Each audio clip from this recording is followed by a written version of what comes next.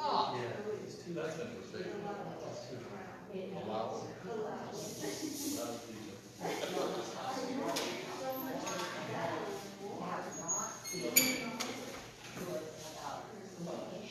Yeah. Which why. That's. And that was. All these good stuff, so. That's right, us away. know, one is on one side of the street, one is on the other side of the street. But regardless, the lack of communication, need both. mechanical Is that like, you're thinking like talking fuel and Yes. Okay, Yes. they're not doing that. Yet. Well, a lot more of it now. Oh, but, you know, I mean, those were big, uh, gosh, when she gets one thing fixed, then we have a whole lesson to deal with. Yeah. They, they, they teach you. Unfortunately, there's a problem. You know, flattery at pine tree leaders might really be beautiful next to the house like that, but you need to have it trimmed up eight feet. Yeah. It doesn't need to hang down on the ground or, yeah, I mean, it just, so. That's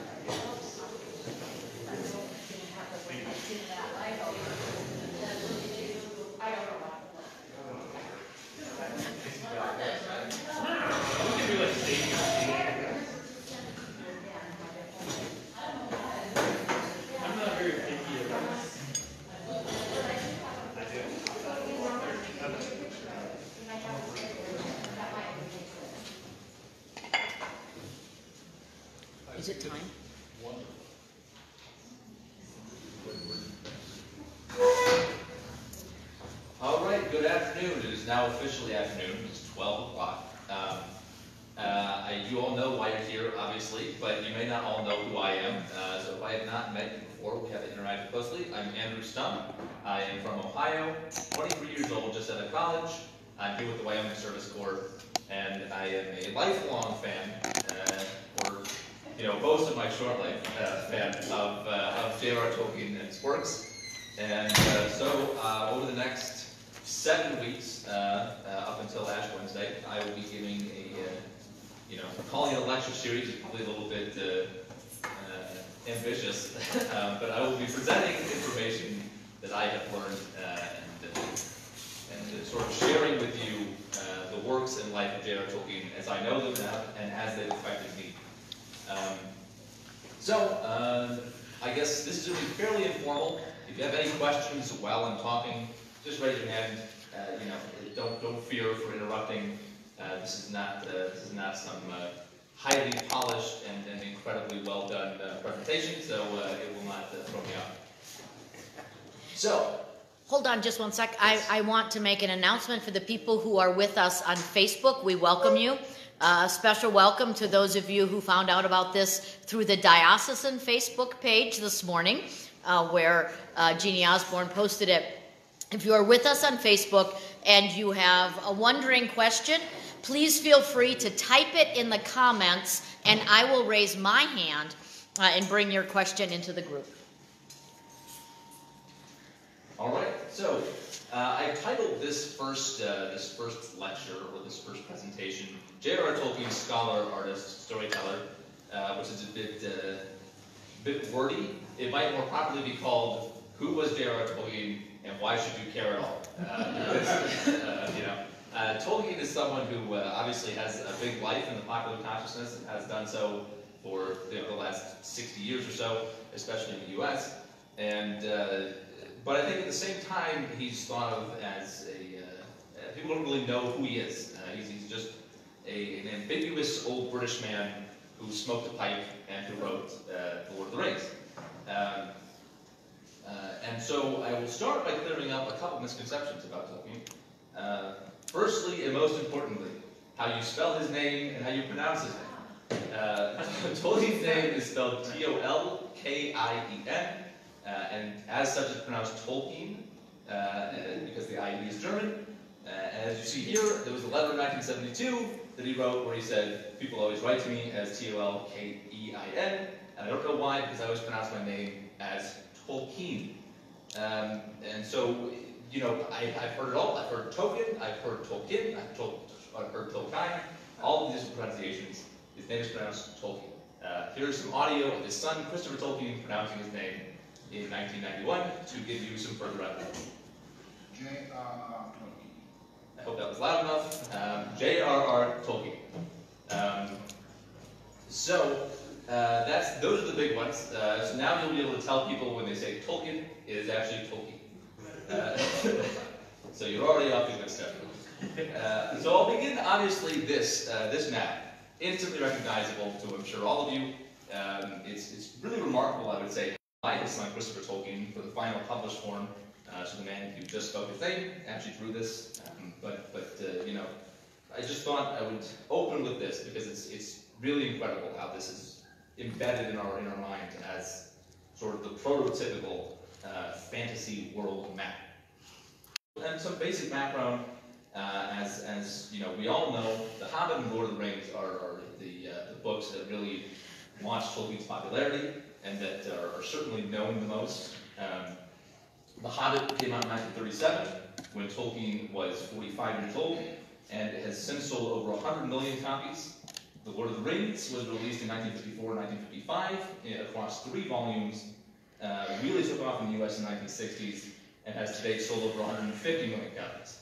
So these, these are astronomically large numbers that are, are hard to even contemplate. Uh, I think it's difficult to really, uh, obviously I did not live through this time, so it's impossible for me to, to realize exactly what, uh, what the uh, introduction of Tolkien to the popular world was. Um, but it's, it's really pretty incredible, uh, these numbers. And, you know, there's a little bit of fudging with the numbers because as the Lord of the Rings was sold across three different volumes, it's uh, difficult to really put hard numbers on the exact number of sales. We can safely estimate he sold over a quarter of a billion copies of, of his books. Uh, another uh, important thing is uh, how, just how popular the Lord of the Rings really is. Um, in 1997, much to the chagrin of the, of the literary establishment worldwide, and specifically in Britain, The Lord of the Rings was voted the best book of the 20th century by the British public.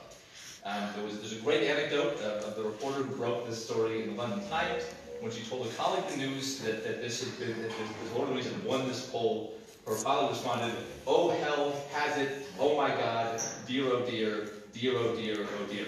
Uh, it was uh, it was the Lord of the Rings has, has has always had this this really harsh clash between the popular uh, conception and love of it and the uh, its exposure in, in literary establishment, which has never been particularly widespread uh, in terms of positive reception. So now with that out of the way, um, I'm going to go into Tolkien the man. So as I said, people really think of Tolkien as an old British man smoking a pipe. This picture, I would say, is very much what people have in mind when they think of J.R.R. Tolkien. He's, he's kindly old British guy, white hair, smoking a pipe, smiling. Um, however, uh, this is really not, I would say, particularly accurate. Um, the sterner reality, and I'm going to phrase it, is really this picture. Um, and lest you think that I'm cheating with this photograph, this is a promotional photo that was shot for Tolkien when the Two Towers came out in 1954. So he is a very intense looking guy with jet black hair who is not smiling um, and who is, who is a very serious man. Um, and so, so I think this contrast is really important because they're obviously both pictures of the man, and I don't think either one of them is, is not genuine, but uh, there's a wide breadth of Tolkien's life that is not really thought about or known um, outside of people who really delved into his life. Um, and so the man on the right is the man who I will be uh, sort of trying to expose all of you to today. And so a brief sketch of, I would say, the diversity of talents and, and diversity of experiences that Tolkien had um, are, are, I'm going to lay them out here. Um, so importantly, a veteran of the First World War, he was born in 1892, um, and so by the time the First World War, the First World War rolled around, he was in his early 20s uh, and was swept into the war. Uh, this is a photograph in 1916, uh, and, uh, and, it was certainly impactful on his life in a way that I'll get into more explicitly later. Uh, he was a well-respected academic, uh, again to a point that I think most people don't really understand. Um, his, his, specifically his scholarship on Beowulf is probably the most important ever written by any academic um, in, in, literary circles, in literary scholarship circles. That is that is widely confirmed uh, and, believed that he really transformed the entire field of Beowulf scholarship in the uh, early half of the 20th uh, century. he was also an Oxford professor, a Don at Oxford. He was a professor of English language and literature.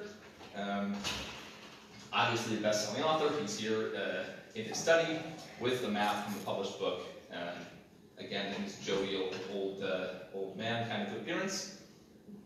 He was also, and again, something that people a lot, a lot of people don't know, a, a very talented artist. Uh, this this painting here is, is, one of my favorites that he ever did.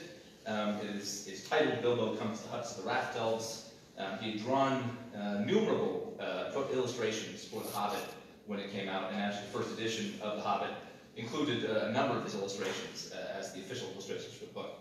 Uh, so he drew watercolors, sketches, you name it. He was a very talented man. Um, a poet, um, again, uh, probably not, obviously everyone knows that The Lord of the Rings and Hobbit include poetry throughout them, but outside of those books, he wrote his own poetry. He wrote well over 100 poems uh, that had nothing to do uh, with The Lord of the Rings or The Hobbit, just on his own time and, and for his own personal sort of predilection.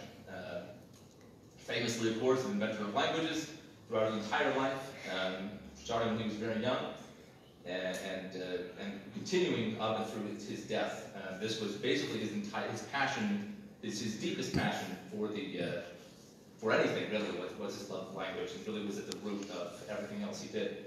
Um, and here this, this is him inscribing a, a copy of the Lord of the Rings to someone in 1968, um, and uh, obviously had some very nice calligraphy as well.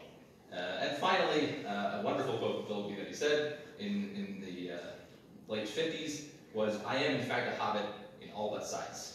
Uh, I think this is a, uh, a, a, very hobbitish looking picture of Tolkien. Uh, he's, he's, certainly, he had, he spanned the, the sort of gamut of, of intensity and, and happiness, I guess I would say.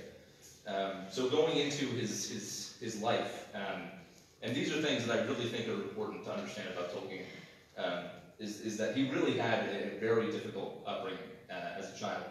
Um, he was actually born in South Africa. It was, and that was then called the Orange Free State, and what would become South Africa in Bloemfontein. in 1892. Uh, in 1895, because he and his brother were poor of health, he she took his, his uh, he, he and his brother back to England uh, to live with their families. Um, and his father, who was planning, who worked at a bank and was planning on joining them the following year, died in 1896 of a brain hemorrhage, brain hemorrhage when Tolkien was four years old. Um, and then further tragedy struck in the ni- in the year 1900 when his mother Mabel converted to Catholicism, um, which at the time was, was obviously not loved by, uh, by people who were Protestants or, or the Church of England. And she was uh, disowned by both her own family and, and the family of her husband. And so she and her boys were left almost destitute, living on, on uh, the funds that, that Arthur had made while he was banker. Things would only get worse. Uh, uh, his mother educated him uh, at this time, um, but he and his, but they lived in very squalid conditions, and he and his brother had uh, had almost constant health problems. Um, you know, as an example, in 1904, uh, Ronald, which is what Tolkien his birth name was, had had measles and whooping cough, and his brother had pneumonia all at the same time. And around the exact same time, his mother contracted type 1 diabetes, or, or uh, type 1 diabetes was was uh, diagnosed in her. And uh, and at that time, it was an incurable disease because insulin would not be discovered until the 1920s. And so uh, she died in, in November of, eight, 1904, uh, when Tolkien was 12 and his brother Hilary was 10. Uh, so this is a picture of them in 1905, a year after the death of their mother. And again, just, just a life marked with tragedy, especially in, in his early years.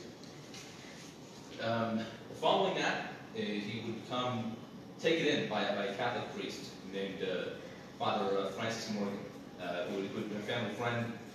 Um, uh, after they converted to Catholicism, Francis Morgan really took care of the boys, especially after Mabel died. He took them in and, and put them in a boarding house.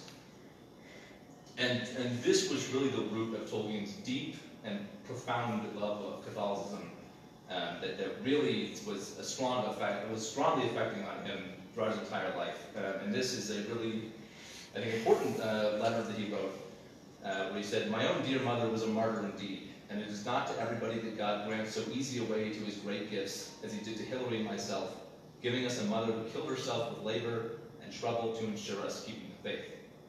Uh, I think the use of the word martyr was very important there. Uh, he, he really did believe that his mother had died so that he and his brother could live uh, their lives fully in the church and in, the light of God. And, uh, and that would become a, uh, a very powerful uh, guiding force throughout his life as Catholicism. So moving forward then, uh, placed in a boarding house by Francis Morgan, uh, at the age of 16 in 1908, he would fall in love um, with, with a girl three years his elder named Edith Bratt. Um, and they, uh, they sort of had a, a, flowering romance for, for a number of years. And uh, they, would, they would go around to the countryside and to the town. Uh, a fun anecdote told by uh, Tolkien's official biographer was that they would go to tea shops and they would uh, pick up sugar cubes and throw them at people passing by until they ran out of sugar cubes. And by which time they would move to the next table and continue tucking uh, sugar cubes at, at people walking by, by the tea shop. Uh, however, this was uh, relatively short-lived as uh, Father Morgan found out and Tolkien had failed an, an entrance examination into Oxford, probably as a result of his, of his uh, uh, lack of focus due to his, uh, his romance, uh, and forbade him from, from contacting Edith until, until he turned 21. Um, however, as you can imagine, that was probably not uh, the most effective uh, thing, and Tolkien wrote 30 years later, probably nothing else would have hardened the will enough to give such an affair, however genuine a case of true love, permanence. Um, so it was, despite their, their forced separation, it was, they, were, they were destined sort of to be together. Um, and at this time, uh, Tolkien really, you know, in spite of his, his sort of, uh, his, maybe his, his lack of studiousness, he really developed um, and, and displayed to the world a profound love and deep understanding of language. Um, and this was something that, as I mentioned before, he was, he was creating languages as early as, as the mid-1900s when he was 10 or 12 with his cousins, and it would continue actively throughout his entire life. He, uh, he was placed at King Edward School by Francis Morgan, um, which was a, a, a school that had had a very classical education, so he was able to learn Old English, Middle English, Greek, Latin, Old Norse, Gothic, uh, among other languages that he became familiar with, French, Spanish, um, and he was just a voracious consumer and uh, adopter of languages. Uh, his biographer wrote uh, that, that his mother had tried to teach him piano and was unable to, uh, and that uh, it, it seemed rather as if words took the place of music for him, that he enjoyed listening to them, reading them, and reciting them, almost regardless of what they meant. So a really, uh, a really em- almost empathic understander of languages, a, a man who, who a boy a man who, who is just at all times in love with, with speaking and listening to language.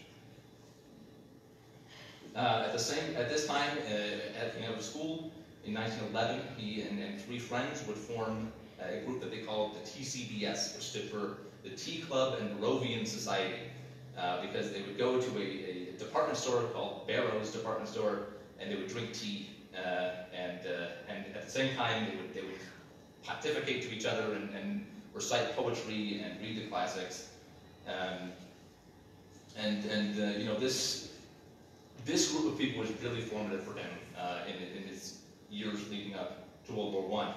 Um, as you can see here, uh, two of them are already in uniform. There are not a lot of pictures of them, but uh, all four of them would, would serve in, in World War One simultaneously, um, and they would continue communication uh, while that was going on.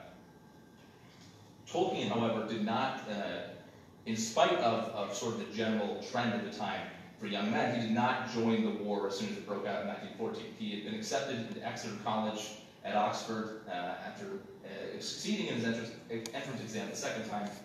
Um, and really, this choice was made uh, for Edith. Um, in 1913, while he was at Exeter, uh, the morning, uh, midnight when he turned 21, he wrote her a letter saying, uh, "I still love you, and, I, and I, we should get married." Uh, she wrote him a letter back saying, "I'm engaged," and and, uh, and uh, sorry. Uh, however, uh, one short uh, train ride later, and she had broken off her engagement, and uh, and uh, they uh, were engaged to get married themselves. However, um, uh, Tolkien was not uh, in a great financial position or a great uh, prospective position, which was incredibly important at the time. Um, the quote there at the bottom is from uh, Edith, uh, at the time her, her landlord, who uh, was writing to Francis Morgan uh, about their, their uh, proposed engagement. Um, really, this was the reason that he did not join the war. He needed to, to graduate and to have a good prospect coming out of the war in order to have a legitimate chance of marrying Edith, which was, of course, incredibly important to him. And so now we get to um, the true, I guess, part of Tolkien. Um, this, everything leading up to this was, was absolutely uh, formative for him. Um, but this, I'm calling the Threshold of Middle Earth after a, a, a partial biography of Tolkien was written called The Great War, The Threshold of Middle Earth. Um, in, in 1915, which is when Tolkien joined um, the war, um, this is when he really began his, his uh, foray into, into myth and into the creation of myth that would then shape not only his life, but the, the entire uh, uh, prospective uh, world of literature and, and fantasy. Um, it began slightly before he joined the war. Um, so it was, it was at Exeter College that he was you know, still studying languages and mythology, um, and uh, he was reading an incredibly boring sermon, uh, as he described it in 1913, uh, called Christ, uh, by a, an Old English poet named Cynewulf. Um, and he said that, that he, was, he was just perusing this awful sermon that he had no interest in reading, but right smack in the middle of it came these words that would, that would completely transform his life. Yeah. Eyalla Earendel Ingla Beorhtast Ofer Middangeard Monum Senden, which means Hail Earendel, brightest of angels, over Middle Earth sent unto men. And these words were uh, incredibly formative for him. He would later describe, uh, through a fictionalized version of himself, um, a character that said, I felt a curious thrill, as if something had stirred in me, half wakened from sleep. There was something very remote and strange and beautiful behind those words, if I could grasp it, far beyond ancient English. I don't think it is any irreverence to say that it may derive its curiously moving quality from some older world.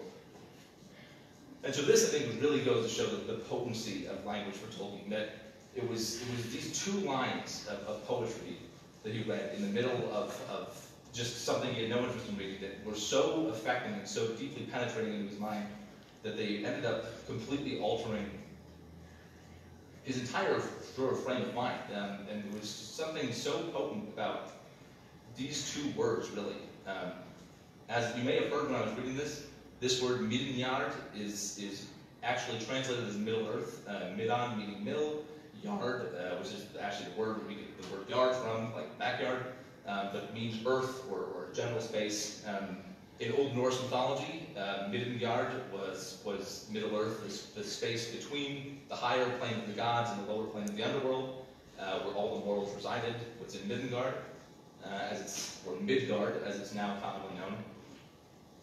Um, and so that was, obviously, that, that name is, is now known for everyone as the name of, of Tolkien's fiction, The World of Middle Earth. Um, the second thing was this, this name, Earendel, which is a name that is completely unknown. Um, it, it's a name that has no uh, definitive understanding. There's a lot of things like this in Old English poetry and Old poetry in general is, is um, complete mysteries. Um, but for Tolkien, this name conjured up an entire, is in the context of these lines, when it says, Earendel, brightest of angels, over Middle Earth, son of the men. This, this name evokes some deeper and far more profound mythological uh, potency than, uh, than it maybe would for other people. Um, but for, for Tolkien, this, this really resonated with him, and Earendel became the foundation of his entire mythology. Um, and you see here, this is, this is a heraldic device, as he called it, of, of his character Earendel, which who would, who would join into mythology. And you can see there, this is the bright morning star, or the evening star, depending on how, it's- how it's interpreted, that uh, is, is uh, sailing over the heavens, over Middle Earth sent unto men. And later he would write in 1956, it was just as the 1914 war burst on me that I made the discovery that legends depend on the language to which they belong, but a living legend depends equally on the legends which it conveys by tradition.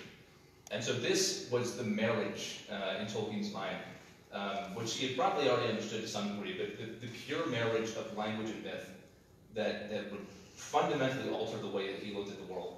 Um, that for the name Earendel alone, that name conjures for him an entire mythology of the world, uh, or at least a fragment of an entire mythology that is, is truly evocative and truly uh, different. It contains within it some ideas and some understandings that, uh, that are not contained anywhere else besides that single word. And the same is true of the reverse, that, that the names contain the legends and the legends contain the words, that, that a legend itself relies upon the language that it belongs to. You, you can't tell a legend without telling it through words. And words themselves contain an entire history, an entire, entire development that, uh, that is the culmination of an entire cultural experience. And so in November of 1914, um, shortly before joining the war, this union materialized for him in an external way for the first time. Uh, he wrote a poem called The Voyage of Earendel, the Evening Star, that, that is the, the beginning point of what we know as Middle Earth and the beginning point of a true mythology that, that he was going to create fully formed from his own mind. Uh, Earendel sprang up from the ocean's cup in the gloom of the mid-world rim. From the door of night as a ray of light leapt over the twilight brim, and launching his bark like a silver spark from the golden fading sand, down the sunlit breath of day's fiery death, he sped from Westerland. Which is, you know, not the greatest poetry ever written, but it certainly has, uh, it certainly uh, is pure in its intention to convey for what Tolkien felt when he read the lines uh, of Old English from Crist, that, this, there's some, there's this mariner who has this boat that's sailing across the heavens, um, that, that really is deeply ingrained in his mind. And so, uh, as I said, in 1915, Tolkien would, would at last uh, enlist in the war. He completed all his studies, uh, but still left Exeter before being able to graduate. He would not graduate until the following year um, because he was so uh, he was receiving a lot of pressure at home uh, from his family and friends to join because everyone at the time at his age was in the war uh, effectively. Um, but uh, more importantly, at this time, um, he had had this, this breakthrough moment with, with uh, the lines from Cynewulf. And it was, it was it's sometimes romantically said that, that he began writing his mythology in the trenches of World War One, which is not true. Uh, but, but, you know, he, he did write some poetry while, while he was there. And the, these, these poems he would send to G.B. Smith, one of the members of the Tea Club and Barrovian Society that, uh, that had been so influential on him as, as a young man. Uh, and, and G.B. Smith was very encouraging, and they would send these letters back and forth. Um, and, and it furthered Tolkien's development as a lover of myth and language in Union. Um, and actually, at this time, a book called Oxford Poetry 1915 was published, containing Tolkien's first published work, first published work called Goblin Feet, a, uh, a poem about goblins that he later grew to detest, uh, but has been, of course, reprinted uh, numerous times throughout the decades, uh, ensuring that Tolkien's uh, uh, hated poem survives. Um, but more sobering is, is this letter, which G.B. Smith wrote to Tolkien in uh, 1916, uh, in early 1960. Uh, and this is, this is in response to Tolkien uh, sending him a collection of poems um, that, that he wanted to have published. Um, and and or sorry, uh, uh, Smith says, "My dear John Ronald, publish by all means. I am a wild and wholehearted admirer, and my chief consolation is that if I am scuppered tonight, I am off on duty in a few minutes. There will still be left a member of the great TCB, TCBS to voice what I dreamed and what we all agreed upon. For the death of one of its members cannot, I am determined, dissolve the TCBS. Death is so close to me now that I feel, and I am sure you feel, and all the three other heroes feel, how unpuissant it is. Death can make us loathsome and helpless as individuals, but it cannot put an end to the immortal four. Yes, publish. You, I am sure, are chosen like Saul among the children of Israel. Make haste before you come out to this orgy of death and cruelty. May God bless you, my dear John Ronald, and may you say the things I have tried to say long after I am not there to say them, if such be my lot.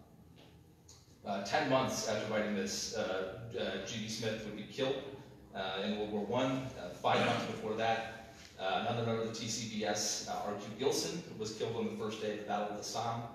Um, and, and this, this title this slide here, Something Has Gone Crack, is, uh, is how Tolkien described the feeling he felt on, on hearing of these deaths, of, of, of experiencing a heart-wrenching loss uh, and then being ripped in two. Uh, something has gone crack in, in his heart, in, in his mind.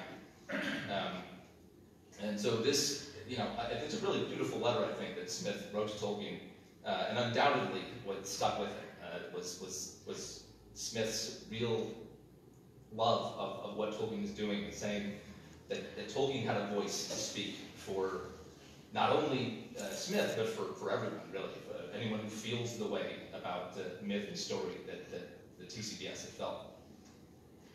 Um, things uh, got uh, slightly better for Tolkien, actually. He contracted trench fever in, at the end of 1916, uh, which turned out to be a blessing because he, his newly wedded wife, Edith, they had gotten married earlier that year, um, was able to join him while he was invalided uh, back in England, and so they spent uh, his entire recovery period together, effectively.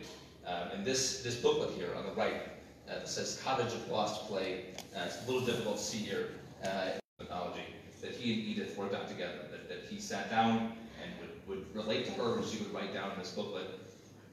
And, and they spent, you know, a good couple of years, effectively, um, on this, while Tolkien was, was on sick leave. Uh, the Book of Lost Tales, uh, where Tolkien was trying to really create a pure mythology, a mythology of, of the English people, one that doesn't exist because um, England's, all of England's historical uh, knowledge really of, of its mythology was destroyed in the Norman conquest, uh, and all that remains really are um, uh, the, the story of Beren and Luthien for Tolkien was, was uh, is a story that is in the Silmarillion as, as currently published and, and existed far back in the, the late 19 teens when he was writing these stories. Um, and uh, really it's based on, on his, his passion for, for Edith that he wrote this story. Uh, in, in the story he writes uh, of Luthien dancing for him, which is based on uh, a time during this time that, that he and Edith took a walk and she danced for him in the woods. Um, and you can see the description of, of, of this dance in Silmarillion. Keen, heart-piercing was her song as the song of the lark that rises from the gates of night and pours its voice among the dying stars, seeing the sun behind the walls of the world. And the song of Luthien released the bonds of winter, and the frozen waters spoke, and flowers sprang from the cold earth where her feet had passed. And he would later relate, relate this in 1971, um, right after his wife died, uh, to his son, uh, his son Michael. He, he wrote, uh, In those days her hair was raven, her skin clear, her eyes brighter than you have seen them, and she could sing and dance. And so, really, uh, Tolkien's his, his, his real passion for everything that he loved uh, is, is so much a part of, of the, uh, the world that he created, of the mythology that he built, was, was his love of his wife, his love of his country, his love of family, his love of myth, everything. He, was a deeply passionate human being who was able to pour all of that purely into, into his work. Um, after this time, uh, he embarked uh, back after, after recovering from trench fever. He returned to the academic world uh, that, he, that he had left before the war. In 1920, he joined uh, work on the, uh, the New English Dictionary, which was which was what the Oxford English Dictionary's original name was. Um, he worked on, on W words that were descended from German, being a, being a scholar of Germanic languages. Uh, if you if you look at the OED, Tolkien's work on at least the word walrus is still there. Uh, and so if, you, if you're interested, you can go find Tolkien's writing in the Oxford English Dictionary. Um, also around this time, uh, he took a professorship at Leeds University, uh, and it was there that he produced um, effectively the definitive academic version of the medieval or the Middle English text, uh, Sir, uh, Gawain and the Green Knight, uh, published in 1925, which would be the standard version of that poem uh, used in academic in, in, the academy for a good 50, 60 years. Um, because he, he was really a, a, a truly gifted, um, what was then called philologist, uh, a field of, of language study that no longer really exists. Uh, effectively, it's historical linguistics mixed with uh, literary analysis. So, effectively, the perfect job for Tolkien, and one that really lent itself to uh, his ability to produce texts like, uh, like Gawain and the Green Knight. Um, and then in 1936, um, he was then at Pembroke College. Um, he produced, uh, like I said before, effectively the definitive text about Beowulf scholarship. It was called Beowulf, the Monsters, and the Critics. Uh, it was delivered as a lecture and then released in print, um, which uh, has been called the most important article ever written about Beowulf uh, by medieval scholars. Um, and importantly, what he, what he argues in this is that the poem has been has been lost under scholarship, um, and that uh, at the time that Tolkien was writing, all anyone really cared about was the language, and, and, and they cared about mining it for, for little details and for and for looking at at uh, historical development, and missing the forest for the trees completely. Uh, and so it's called the monsters and the critics because uh, he thought he thought there was some shamefacedness that uh, that people had when they would read it and they would see Beowulf fighting a dragon uh, or Beowulf fighting Grendel and Grendel's mother, all these monsters that, that are totally fantastical. Um, and, and, you know, the, the, the Academy and Tolkien wanted to sort of gloss over that and just, and just, just and poo-poo it as, as being uh, just an ignorant, uh, an ignorant way of looking at the world from the, the ninth, ninth century uh, AD when it was written. Um, and that again is, is very much in, in Tolkien's love of merging the language and the mythology together, and and and really, you know, as I said, completely turned around Beowulf scholarship and got people on his side because, you know, as he was able to do later with his fiction, uh, he's very uh, adept at uh, convincing people of the power of mythology. Uh, around this same time, uh, Tolkien had been had been writing. At this point, he had three or four children, and he started a story that he would, he would tell them at uh, that he wrote down and typed up, um, which, through a series of uh, wild coincidences, uh, ended up in the hands of a publishing house. Um, and it was, it was then published in 1937 as The Hobbit, uh, a book that uh, became one of the most famous children's books ever written, uh, certainly, uh, probably the most popular children's book of the first half of the 20th century. Um, and I thought here I'd play uh, just a, this an interview Tolkien gave in 1968, uh, describing his first his first expression of writing The Hobbit, which which I think really goes to show his creative process.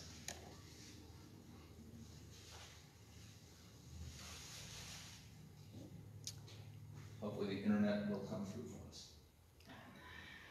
The actual beginning, though it's not really the beginning, the actual flashpoint, because I remember very clearly, I, I took, um, I still see the corner in, the, in my house in 20 North Road where it happened. I got an enormous pile of exam papers there, and uh, it, marking school examinations in the summertime is, is an enormous, um, very laborious, and unfortunately it wasn't boring. I remember picking up a paper and actually finding I nearly get an extra mark for it, extra five marks actually. On one page of this particular paper was left blank.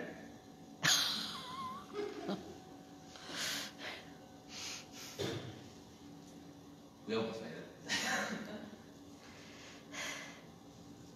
Interesting though, here in a couple of minutes, I will finish off the story for him. Um, Glorious. Nothing to read, so I scribble on it, I can't think why. In a hole in the ground lived a hobbit. I think that was eventually published in 1930. So that's, that's the inception of, of the Hobbit story that Tolkien loved to tell. Um, how true it is, we have no way, way, of knowing. The, the page that he wrote that on uh, has, has never been found, uh, unlike many of his other papers. But uh, I think it is a very pure expression of, of the way that Tolkien uh, wrote. Uh, was, was he just had a creative drive within it. So he, you know, he, he just out of, out of the spur of his own thought uh, in a hole in the ground over the Hobbit. And from there, uh, the world of Middle Earth as we know it was born. Um, and interestingly, The Hobbit was, was never intended as, as anything more than a children's story. It was, it was a story he wrote for his children that had nothing to do with his other mythology he was writing, which he, he continued working on throughout this entire time. And he's been working on it continually for the last 20 years, um, since World War One. But The Hobbit had nothing to do with it. It was a completely different story um, that uh, he later described as having been drawn into the world. He, he, he had uh, uh, one of the most uh, interesting things about Tolkien is he was almost at war with himself over his mythology. He was never able to get away from it. He began working on it in around 1915 um, with the earliest sort of languages that he was constructing. Um, and it, it, he died in 1973, uh, and so it was almost a full 60 years of, of continual work and revision. Um, and so everything he did almost was through the lens of this mythology that was constantly in the back of his mind. Um, and so even writing this children's story, he had no way of, of completely excising it from, from this mythology that he had written. And that came to full fruition in, in oops, uh, that came to full fruition in uh, after the publication of The Hobbit uh, in 1937. It was a modest success uh, when it first came out. People, it was uh, somewhat unexpectedly. It did fairly well, um, and so his publishers asked him for a sequel, uh, and he offered up, "Well, hey, I have this whole mythology I've been writing the last 20 years.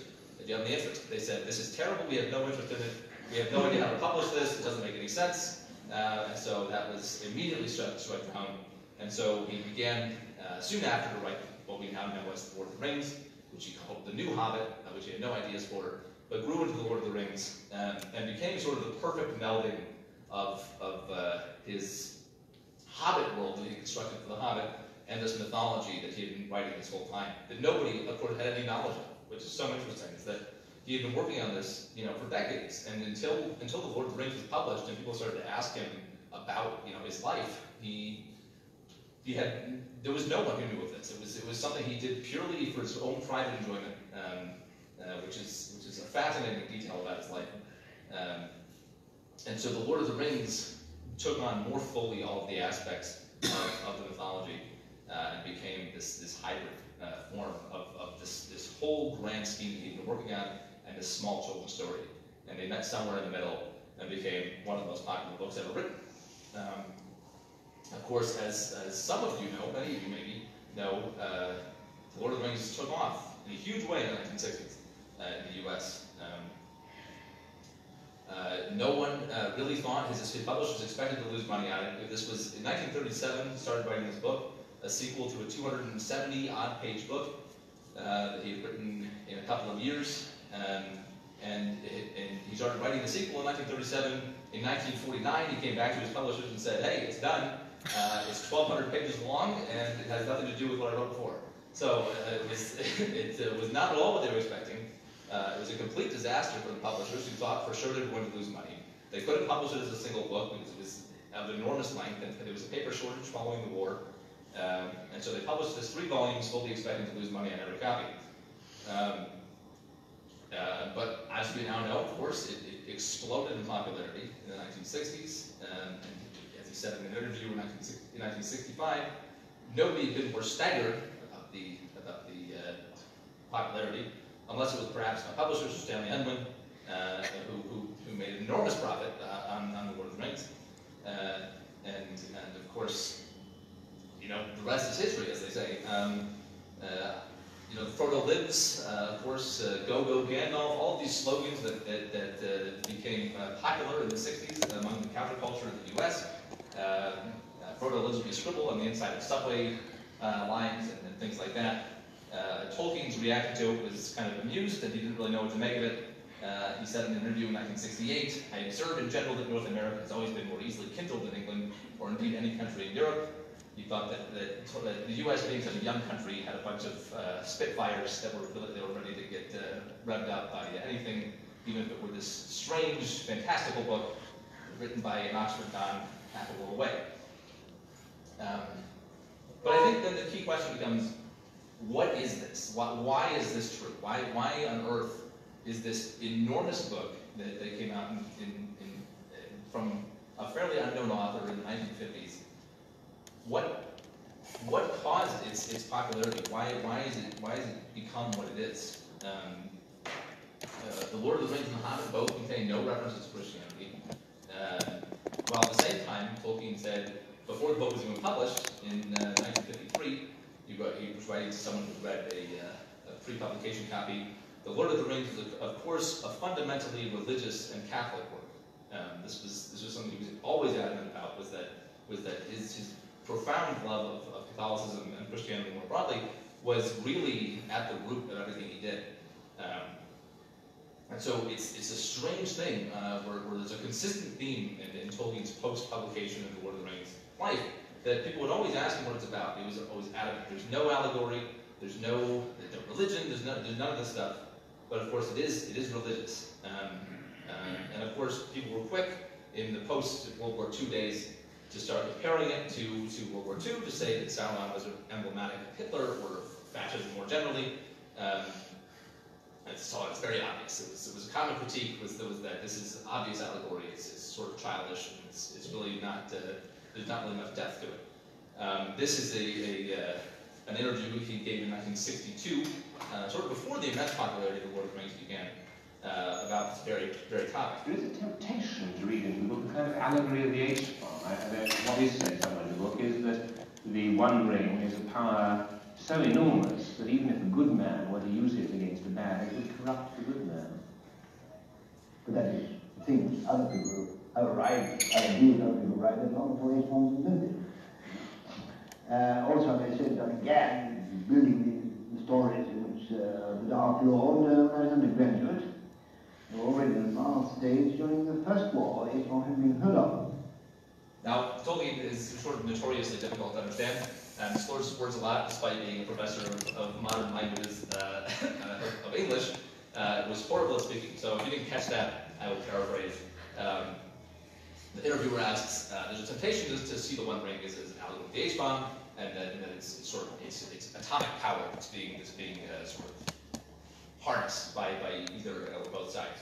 Um, I Tolkien responds, that's something that people have been saying for years. They said it, they, you know, people people said it, uh, you know, the H bomb wasn't even in existence uh, in in uh, when Tolkien started writing. I mean, you must remember he was writing this. He began writing in 1937 and, and continued through 1949. So about half of the writing history of the book was done before the, the war even ended, um, and before the, the bombs were dropped.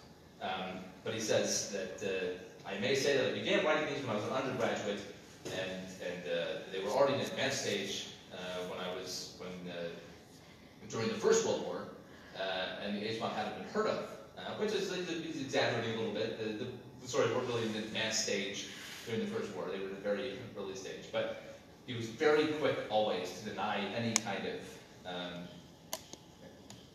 practical connection. He even went so far in a 1965 interview, he, uh, he was asked, um, there's trees are all over the Lord of the Rings as these kind of symbols. Uh, the white tree of Gondor is this, this big symbol that, that is important to the book. Um, and the interviewer says, well, why did you use a tree as, as a symbol of, of kingship or lordship? And he's like, well, I didn't, that's not even true. It's like, well, of course, of course it's true. It's, it's right there. Obviously, it's on the banners, it's on the flags, the trees in the, in the courtyard. And he says, well, you know, there's leopards on the on the standard badges of, of England. So what, what does that mean? Uh, they're just emblems. He, he would say they're just emblems. They're not even symbols. I don't think in symbology. Uh, he was always eager to dispel any illusions that he had put any specific meaning in. It is a temptation. But then, of course, um, and so as I say, here's, here's another line uh, of his that's, that's uh, uh, famous. In, in 1965, when the second edition of The Lord of the Rings came out, um, and all of this sort of stuff had been bubbling the surface about, about uh, you know, the world uh, asking what it's about and thinking it's about atomic power. Um, he explicitly spends paragraphs saying why it's not about atomic power and says, I cordially dislike allegory in all its manifestations and have always done so since I grew old and wary enough to detect its presence. Um, and so he, he was, it's just a constant thing for him for, for, for years, um, is, is this great thing. But then letters he would say it's an allegory of power. Um, so it, it's, it was, there's always a tension. He, he, he really was, was uh, at odds with the world and was very uh, grieved when people wanted to put specific meaning in. Um, the, the, difference being that he saw uh, applicability, is what he called it, as being distinct, completely distinct from allegory. The domination of the author, he said, is allegory. Uh, you have in C.S. Lewis's Chronicles of Narnia, where, where, where the story is, is a, a very straight-laced, one-to-one allegory of, of Christianity, uh, the line of in order, of course, is the death and resurrection of Christ in Aslan, and he was never wanted to have that in there. Uh, but at the same time, any, any story that, that plays into archetypes and into, into uh, sort of mythology is, is bound to have uh, uh, allegorical meanings to some degree. Um, but I think we're still sort of missing uh, why the Lord of the Rings is, is so resonant. It's, it's, it's almost paradoxical. It's, it's for a guy that had no meaning, supposedly setting into it, it's it resonated with millions of people and has done so for 65 years. It's, it's, it's never stopped. Uh, it's, it's, always been uh, at the forefront of culture. There, there, are still adaptations being made currently uh, that are expected to break in tons of money. Um, so the final question is, so what? so, so why, why is there, uh, why do we care about any of this? What is, what is the point? Uh, is popularity alone enough to justify it? Uh, as I say here, uh, Fifty Shades of Grey has been, is, is one of the best-selling books of all time, obviously. Uh, um, books like that do very well. Uh, Nicholas Sparks, you know, all of these different people that write these very kind of, what you might consider lowbrow fiction, sell incredibly well. And so that's something that people levy against Tolkien all the time, and have done so for a very long time, is that it's just lowbrow, and it's popular because people are, are childish or they want to escape the world. Um, and and there's, there's not really a whole lot of depth there if you, if you know what you're looking for. Um, but my argument would be, and what I will be getting into in, in, in the future, in, in, in these uh, various lectures uh, over the next few weeks, is that there's something critical about story for Tolkien. And as I said before, um, you know, language and, and story, and then the mixture of the two, and, and the, the, birth of myth, and, and why stories have such a powerful resonance for uh, everywhere in the world, people everywhere in the world at all times. Uh, the, the, stories are always at the, at the key, uh, always the key to understanding a culture. Um, they're, they're manifestations of human experience in a very pure way. Uh, that the story, when you read Beowulf, even though there's very little known about the, the context of Beowulf or even who the poet was, that Beowulf is, is, is, is touching upon an entire universe of meaning, an entire world of meaning, an entire perspective on the world that uh, is, is no longer accessible to us, even if we have artifacts of people who lived at the time.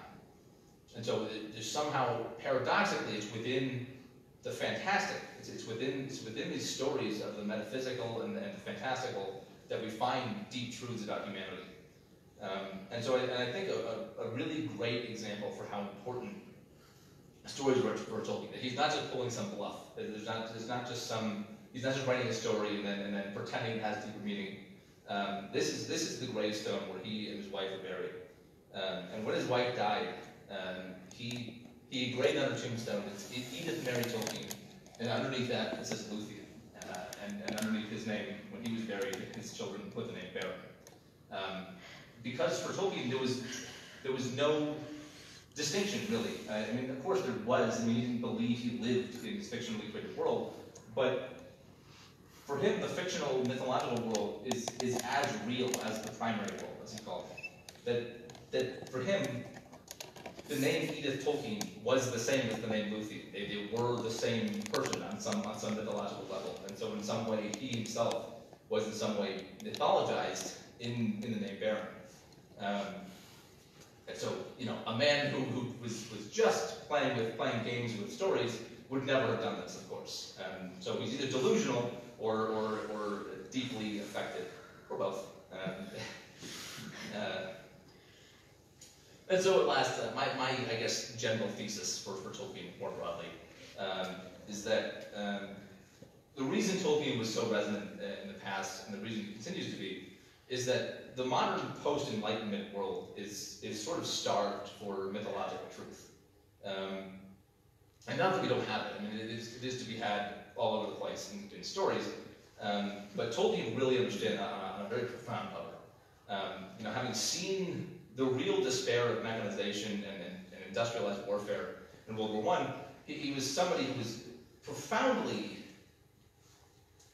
in a position to really appreciate the, the, the importance and the impact that stories can have on the world. Um, I think everybody feels that to some degree. When, and when they, people who, who are struck by The Lord of the Rings and by Tolkien more broadly are feeling that passion that he had, that understanding that he had, um, coming through for them in their own lives.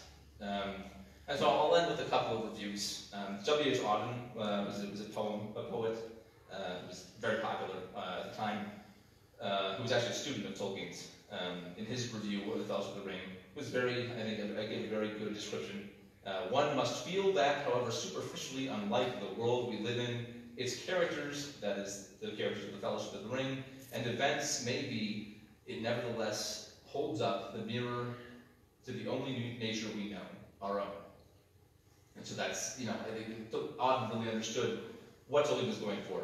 Um, but I think uh, the, the real power is revealed uh, in, in, you know, in, the, in, the, in a mythological kind of description, which is what C.S. Lewis gave. Uh, C.S. Lewis was a great friend of Tolkien's in his review of the Fellowship of the Ring, who said, Here are beauties which pierce like swords or burn like cold iron. Here is a book that will break your heart. Um, and so, you know, I, I think those two perspectives, the sort of analytical uh, perspective of, of power of mythology and the pure poetic exemplification of that power uh, is what is found in Tolkien and is what I uh, seek to explore and to explain.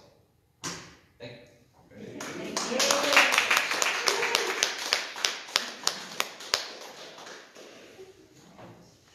What's the next lecture?